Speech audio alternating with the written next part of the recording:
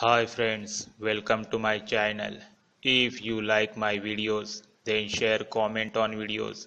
Do subscribe my channel and press the bell icon for a new video notification. When you see a one crow bird, what does it mean? Some cultures believe crow bird represents rebirth, change, adaptability, intelligence, psychic abilities, and higher perspective whereas some cultures believe one crow represents mystery, magic, negativity, and bad luck.